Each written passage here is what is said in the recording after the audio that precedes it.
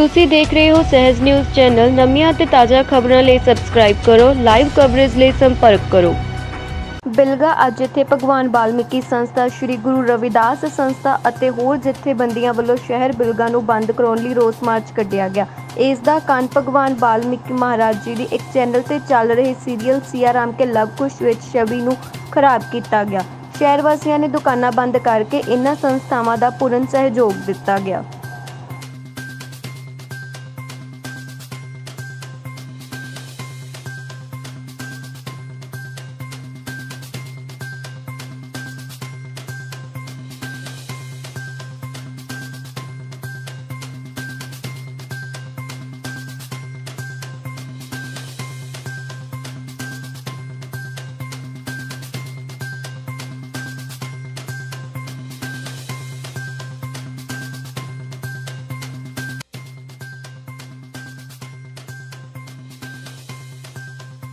ਵਾਲਮੀਕੀ ਜੈ ਭੀਮ ਜੀ ਜੈ ਗੁਰੂ ਰਵਿਦਾਸ ਵਾਹਿਗੁਰੂ ਜੀ ਕਾ ਖਾਲਸਾ ਵਾਹਿਗੁਰੂ ਜੀ ਕੀ ਫਤਿਹ ਔਰ ਅੱਜ ਜਿਹੜਾ ਰੋਸ਼ ਰੋਸ਼ ਮਾਰਚ ਹੈਗਾ ਆ ਉਹ ਅਸੀਂ ਜਿਹੜਾ ਕਲਰ ਟੀਵੀ ਤੇ ਇੱਕ ਚੈਨਲ ਚੱਲ ਰਿਹਾ ਹੈਗਾ ਰਾਮ ਸੀਆ ਕੇ ਲਵ ਕੁਸ਼, ਉਹਦੇ ਵਿੱਚ ਪ੍ਰਮਾਤਮਾ ਵਾਲਮੀਕੀ ਮਹਾਰਾਜ ਦੀ ਗਲਤ ਛਵੀ ਜਿਹੜੀ ਆ, ਉਹ ਇਸ ਚੈਨਲ ਤੇ ਦਿਖਾਈ ਜਾ ਰਹੀ ਹੈ, ਇਸ ਨਾਟਕ ਦੇ ਵਿੱਚ।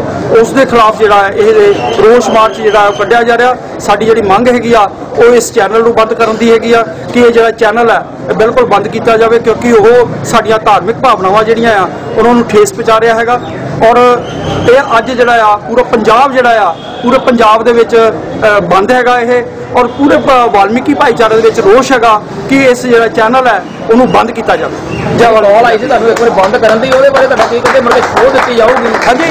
ਹੁੰਦੀ ਸਾਹਿਬ ਦੇ ਬਿਆਨ ਆਏ ਸੀ ਨਾ। ਮੈਂ ਤੁਹਾਨੂੰ ਦੱਸਦਾ ਸਰ ਉਹ ਇੱਕ ਸੁਣਦੇ ਜਿਹੜਾ ਸੁਭਾਸ਼ ਸੁਣਦੀ ਹੈਗਾ ਆ ਉਹਨੂੰ ਇੱਕ ਪ੍ਰਸ਼ਾਸਨ ਦੇ ਵਿੱਚ ਬੱਲੇ ਬੱਲੇ ਕਰਕੇ ਬੱਲੇ ਬੱਲੇ ਲੈਣ ਕਰਕੇ ਉਹ ਜਿਹੜਾ ਆ ਉਹਨੇ ਪੁਲਿਸ ਦੇ ਵਿੱਚ ਕਮਿਸ਼ਨ ਨੂੰ ਲੈ ਕੇ ਇੱਕ ਬਿਆਨ ਦਿੱਤਾ ਕਿ ਅਸੀਂ ਇਹ ਜਿਹੜਾ ਆ ਕੈਨਸਲ ਕਰ ਰਹੇ ਹੈਗੇ ਆ ਔਰ ਸੀ ਜਿਹੜਾ ਸੀਰੀਅਲ ਹੈਗਾ ਉਹਨੂੰ ਬੰਦ ਕਰ ਦੇਣਾ।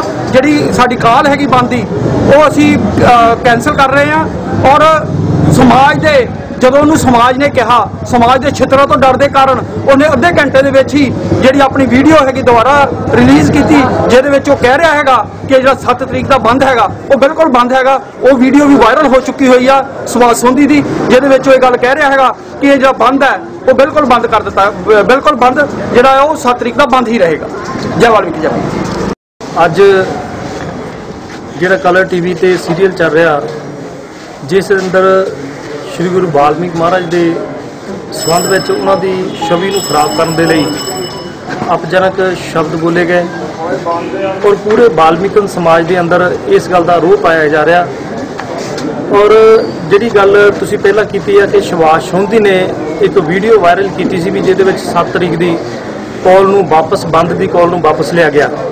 ਉਹਦੀ ਇੰਡੀਵਿਜੂਅਲ ਕਾਲ ਸੀ, ਪਰ ਜਦੋਂ ਸਮਾਜ ਦੇ ਹਤੈਸ਼ੀ ਆਦਮੀਆਂ ਨੇ ਇਹ ਗੱਲ ਨੂੰ ਸੁਣਿਆ ਔਰ ਉਹਨੂੰ ਲਾਹਤਾ ਪਾਈਆਂ ਤੇ ਉਸ ਬੰਦੇ ਨੇ ਵਿਦਨ ਹਾਫ ਮਤਲਬ ਉਹਦੇ ਅੱਧੇ ਘੰਟੇ ਦੇ ਅੰਦਰ ਅੰਦਰ ਦੂਸਰੀ ਵੀਡੀਓ ਵੀਡੀਓ ਜਿਹੜੀ ਉਹ ਵਾਇਰਲ ਕੀਤੀ, ਜਿਹਦੇ ਵਿੱਚ ਉਹਨੇ ਇਹ ਗੱਲ ਕਹੀ ਆ ਵੀ ਮੈਂ ਇਸ ਮੇਰੇ ਉਹ ਇੰਡੀਵਿਜੂਅਲ ਵਿਚਾਰ ਸੀਗੇ ਤੇ ਮੈਂ ਇਸ ਕਾਲ ਨੂੰ ਵਾਪਸ ਨਹੀਂ ਲੈ- ਮੈਂ ਲੈਣ ਲਈ ਕਿਹਾ ਗਿਆ। ਤੇ ਔਰ ਪੂਰੇ ਸਮਾਜ ਦੇ ਅੰਦਰ ਇਸ ਗੱਲ ਦੀ ਮੰਗ ਨੂੰ ਲੈ ਕੇ ਮਤਲਬ ਪੰਜਾਬ ਬੰਦ ਕੀਤਾ ਜਾ ਰਿਹਾ ਕਿ ਉਸ ਸੀਰੀਅਲ ਨੂੰ ਬੰਦ ਕੀਤਾ ਜਾਵੇ ਔਰ ਉਸ ਕਲਰ ਟੀਵੀ ਨੂੰ ਚੈਨਲ ਨੂੰ ਵੀ ਬੰਦ ਕੀਤਾ ਜਾਵੇ। ਔਰ ਜਿੱਥੇ ਮੈਂ ਸਮਝਦਾ ਵੀ ਇਹ ਸ਼ਰਾ- ਸਰਕਾਰ ਵੱਲੋਂ ਸ਼ਰਾਰਤ ਕੀਤੀ ਗਈ ਆ, ਕਿਉਂਕਿ ਜਦੋਂ ਵੀ ਕੋਈ ਸੀਰੀਅਲ ਟੀਵੀ ਤੇ ਆਉਂਦਾ, ਉਹ ਸੈਂਸਰ ਬੋਰਡ ਪਾਸ ਕਰਕੇ ਭੇਜਦਾ।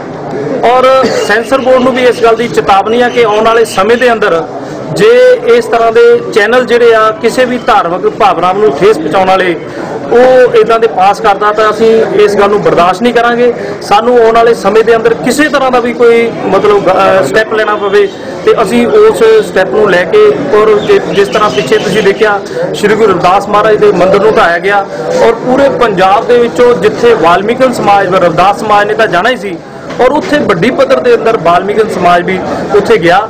ਔਰ ਜੇ ਉਹਨਾਂ ਨੇ ਸਾਡੇ ਸਮਾਜ ਦੇ ਗੁਰੂਆਂ ਪੀਰਾਂ ਦੀ ਮੰਦਰਾਂ ਨੂੰ ਢਾਉਣ ਦੀ ਕੋਸ਼ਿਸ਼ ਕੀਤੀ ਤਾਂ ਔਰ ਪੂਰੇ ਸਮਾਜ ਦੇ ਅੰਦਰ ਅਵੇਅਰਨੈਸ ਆ ਗਈ ਆ ਉਹਨਾਂ ਨੇ ਕਿਹਾ ਵੀ ਜੇ ਤੁਸੀਂ ਸਾਡੇ ਸਮਾਜ ਦੇ ਮ- ਗੁਰੂਆਂ ਪੀਰਾਂ ਦੀ ਕਦਰ ਨਹੀਂ ਕਰਦੇ ਉਹਨਾਂ ਨੇ ਵੀ ਰਮ- ਰਾਮ ਦੀਆਂ ਮੂਰਤੀਆਂ ਅ, ਸ਼ਿਵ ਜੀ ਦੀਆਂ ਮੂਰਤੀਆਂ ਚੱਕ ਕੇ ਨਾਲੀਆਂ ਤੇ ਰੱਖ ਦਿੱਤੀਆਂ ਔਰ ਇਸ ਤਰ੍ਹਾਂ ਦਾ ਦੇਸ਼ ਦੇ ਅੰਦਰ ਮਾਹੌਲ ਨਾ ਬਣੇ, ਮੈਂ ਇਹ ਸੈਂਸਰ ਬੋਰਡ ਨੂੰ ਵੀ ਇਹ ਅਪੀਲ ਕਰਨਾ ਵੀ ਇਸ ਤਰ੍ਹਾਂ ਦੇ ਸ਼ੀਸ਼ ਜਿਹੜੇ ਸੀਰੀਅਲ ਆ, ਉਹ ਨਾ ਪੇ, ਮਤਲਬ ਪਾਸ ਕਰਨ ਤੇ ਇਸ ਤਰ੍ਹਾਂ ਦਾ ਮਾਹੌਲ ਨਾ ਕ੍ਰੀਏਟ ਹੋਵੇ। ਇੰਨੀਆਂ ਬੇਨਤੀਆਂ ਕਰਦਾ ਮੈਂ। ਰਜਾ ਲੈਣਾ ਜੈ ਭੀਮ, ਜੈ ਭਾਰਤ। ਵਾਹਿਗੁਰੂ ਜੀ ਕਾ ਖਾਲਸਾ। ਵਾਹਿਗੁਰੂ ਜੀ ਕੀ ਫਤਿਹ।